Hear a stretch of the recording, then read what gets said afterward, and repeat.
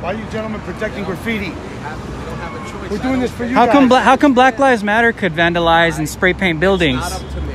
Who's it up to? okay? The mayor? It's, it's up to me. The mayor, right? And the governor? Not up to I'm me. not coming at you. I just want to know. I'm following orders, my man. Okay? From the mayor- You know. Mayor Bill de Blasio? From above my pay grade. grade.